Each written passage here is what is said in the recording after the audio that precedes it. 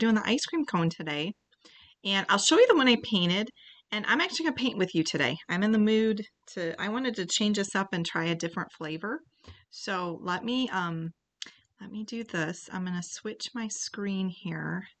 So you should still be able to see me. Hello. And um, you should be able to see the painting and I'll move that too. So this is the one I did. I did the pink background. I did mint chocolate chip. That's my favorite ice cream.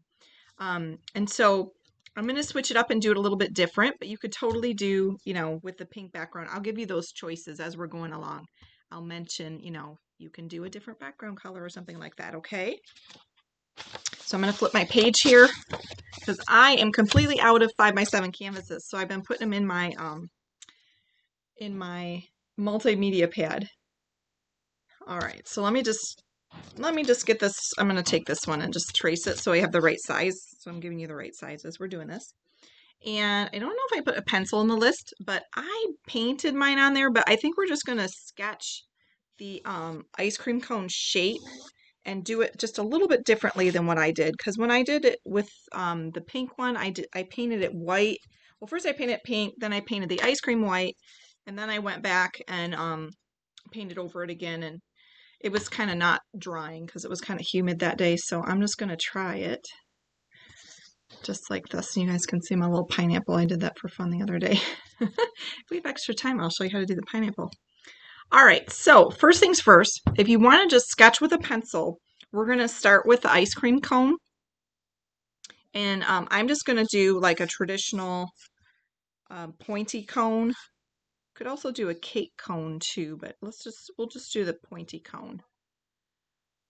See that okay? And you know what I'm going to do? Why don't I do mine? I'll do it in, um, in Sharpie. I don't care if the paint goes over it or not. Um, you could just do yours in pencil, but I'll do it in Sharpie just so you can see the shape I'm drawing a little bit better on the screen. Go ahead, Jalen.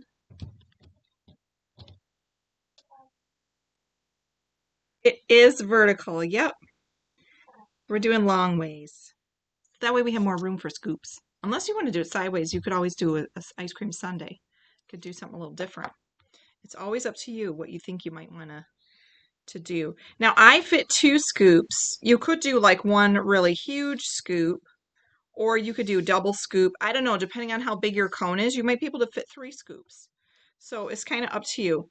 I'm just going to kind of make a little round shape here See, mine is, I made my cone really big. So I've got this here, and then I'm going to plop one right on top of it. So mine's going to go all the way to the top here. So you can kind of squeeze yours in, and then, you know, if it's too small or too big, that's what erasers are for. Now, I can't erase because I'm doing the Sharpie, but it doesn't matter to me because I'm going to paint over it anyways. So once you have your ice cream shape, the first thing we're going to do is with our paint is pick a color for the background. So I did pink the first time, but I, I kind of want to do a blue background this time just to try it. I just want to see what it looks like. So I'm thinking maybe I might do this color or this color. I think I'll do this really bright. This is a cerulean blue.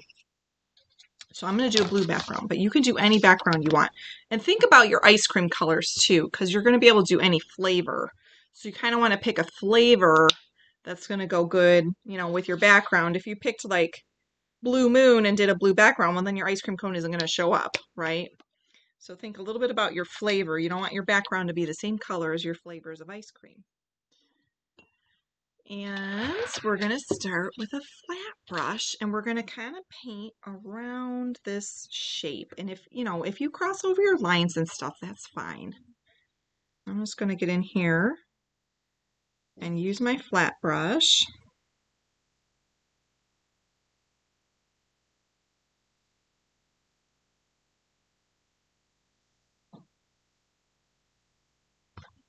and I'm just going to use the edge of it and just paint all the way around here.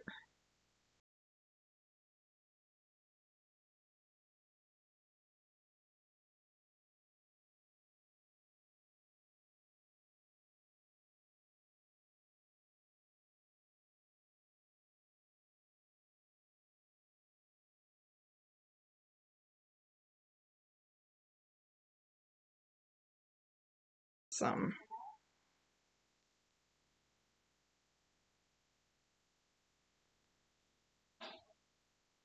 I'm going to take, mine's a little bit tall here, and I'm just going to take and I'm cheating a little bit and making my canvas a bit bigger. I can do that on here. I can make that a little taller so I have a little bit of blue above the cone. Can't really do that with a canvas. There we go. All right. So next what we're going to do is we're going to come up with our, um, oh, what is it? The cone color. So cone color, um, I did a combination of different browns, and I think I did, let me look at mine really quick. I'll look back at it. I think I did like a beigey color. I have this, okay, I have this, it's called Naples yellow. It's kind of a, it's not a real bright yellow. It's more of an earthy yellow or sandy yellow, or you can use beige. So I'm going to take a little bit of that. So if you have like a beige or a khaki color or something that, you know, would look like sand, that's that's the color you want to go for. And then I also had a couple browns that I used. Um, one of them was umber brown, which is the dark brown. And then one of them is um, sienna brown. It's a burnt, this is raw umber, burnt sienna. Sometimes it says raw sienna and sometimes it says burnt umber, but umber is dark brown, sienna is reddish brown. So those are we're going to use in the cone. First things first, I'm going to put the lighter sandy color on there. So I'm just going to kind of paint this on. I'm using a flat brush again. I'm just going on an angle. Yeah, or you could use your larger one, whatever fits. Um, I just grabbed a smaller one because I was being lazy and I didn't want to wash the blue off the other one. So I just grabbed a smaller one. But yeah, if you're lazy like me, just grab another brush.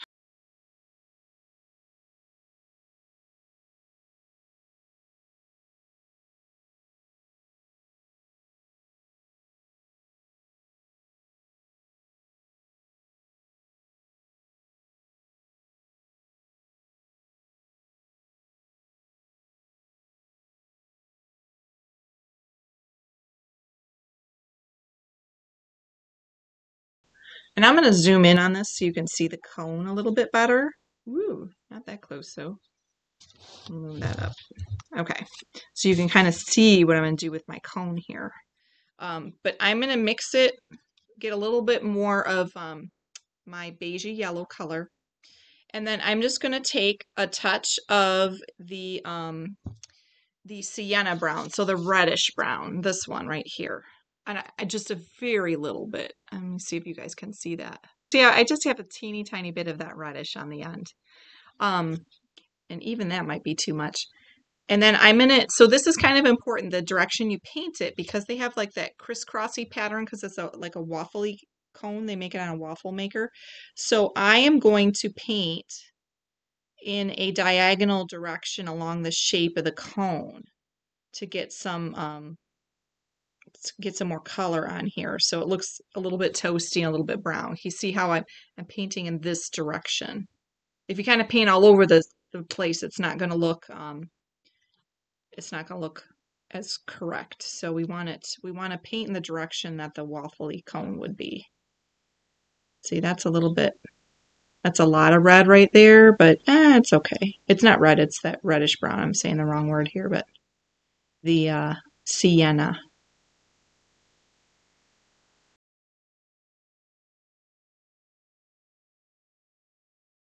I think I'm going to do chocolate and strawberry for mine, but you can do any flavor you want. You don't have to do the same as me.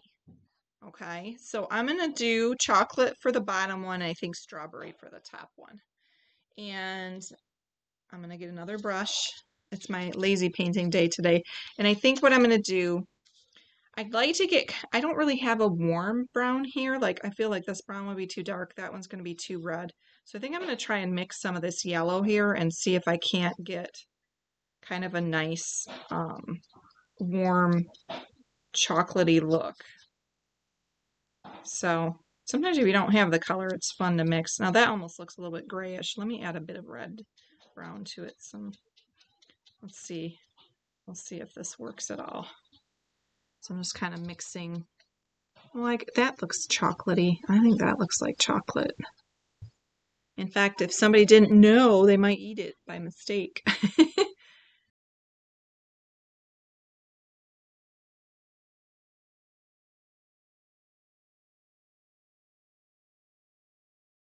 so I've got a little bit of that chocolate there. I might take a little darker brown here just to maybe give it a little shadow. Maybe where the other scoop is going to be sitting on top of there. I don't know if you can really see that very well on the camera because it's kind of shiny. Yeah, you can see it a little bit. We'll get the light brown and the dark brown.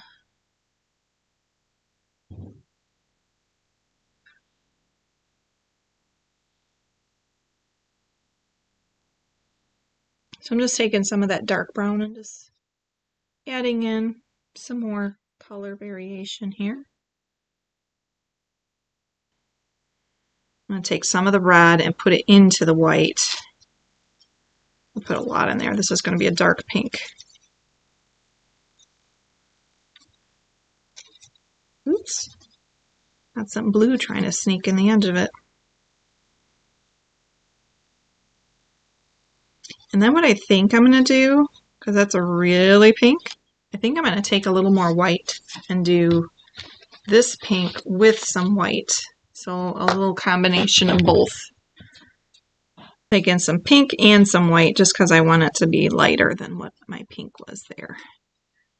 Yeah, that looks that looks like strawberry ice cream. It's kind of creamy looking now. Very yummy.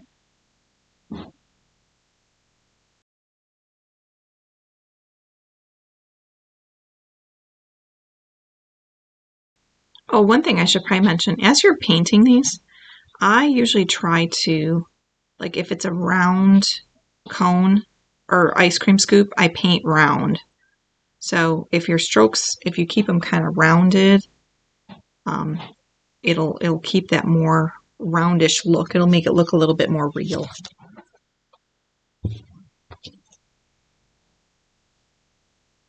Okay. So we'll, we'll come back to this and to add some little accents and details and stuff, but let's let this dry. So once you've got your scoops done and your cone, we're going to let that dry. So what I'm going to do, I'm going to zoom in on this just so you can see better.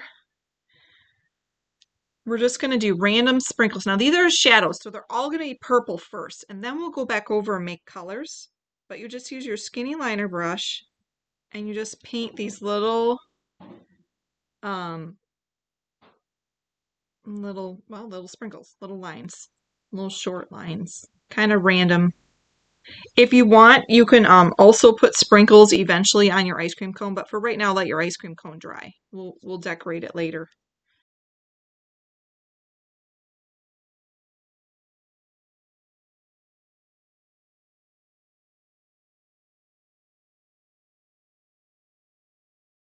And you can also add um, you can maybe do a little purple along the side of your cone if you want to give your cone a little bit of a shadow.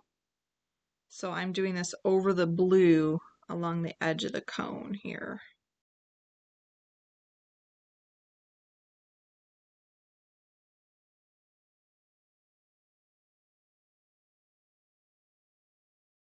This should be dry now.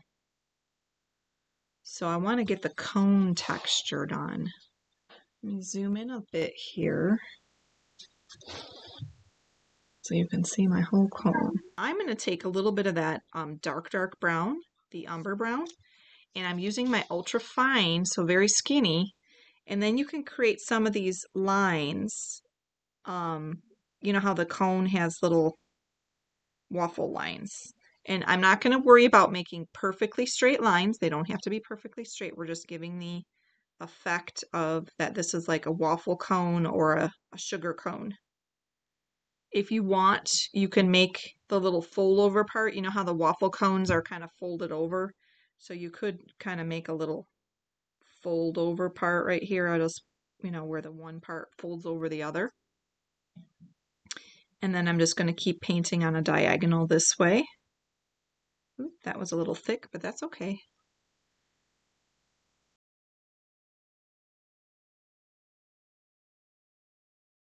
And then stripes going the other way because they crisscross, right?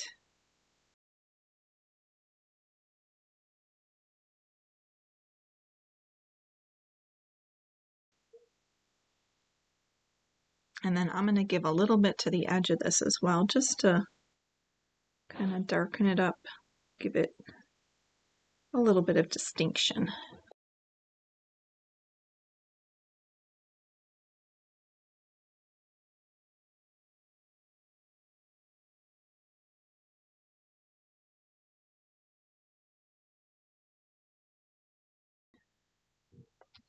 I'm going to do a little brown here in the white and just brighten it up. So I have just some brighter spots. So it's not all one color. You can kind of, you could dry brush it a little bit if you wanted.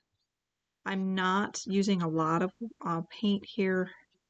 Just a little bit of brown and white. Whatever color you have. So if you did like green, you would do a little bit of green and white. And then if you want to, um, we'll just stick with a flat, flat brush. In my original, I switched to a round brush. You could switch to a round brush and do a little bit of uh, swirling down here to get, you know, you know how the scoop kind of sets into the cone if you want a little bit of that down there. You can swirl your brush. You could use a round brush to do that, or I'm just going to use my flat brush because I don't feel like getting another round brush out and getting it dirty.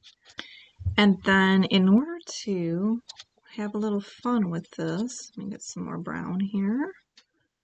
Get some of that dark brown in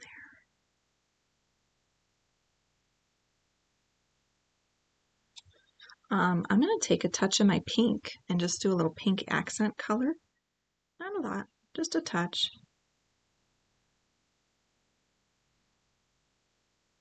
And just give it a little bit of an accent color.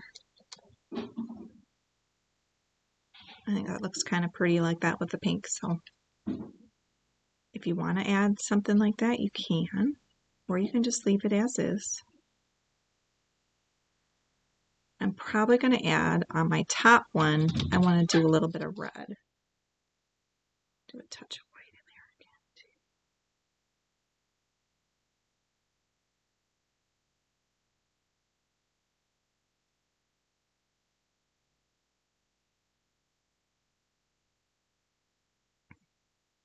And like if you wanted to do chocolate chips and stuff, you can add the, all that kind of details if you want to add some of that fun stuff.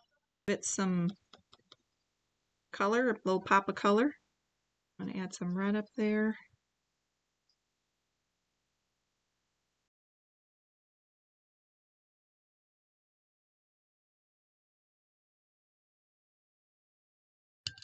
We're going to go back over those sprinkle shadows and you're just going to do lots of different colors for your sprinkles. So like I'll start with, maybe I'll start with the red. And what you're going to do is you're going to overlap it. So here's the shadow is in the purple. And then I'm just going to go right above it so it kind of overlaps a little bit. So like there's a red sprinkle right there. I'm going to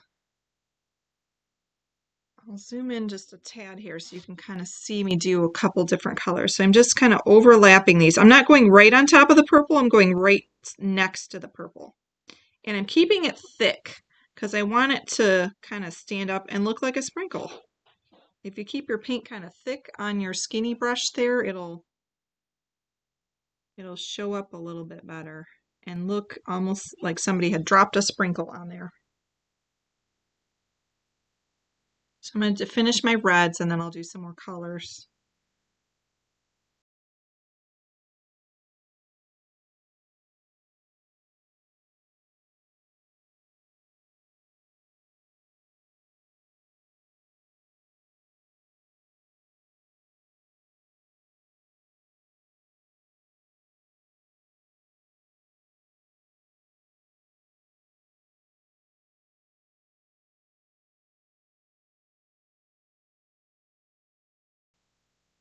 It looks like confetti. Got sprinkles everywhere. It looks like fun confetti.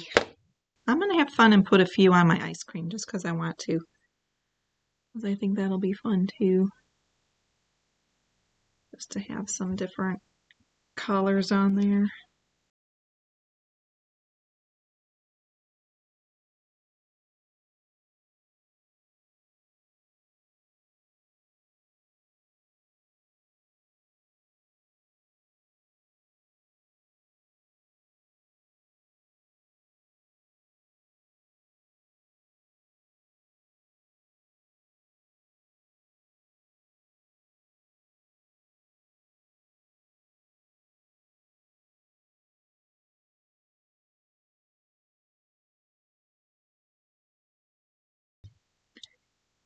Hey, it's Rose from the Painted Toad, and if you really enjoyed this painting, make sure you like and subscribe so you can do more paintings like this one.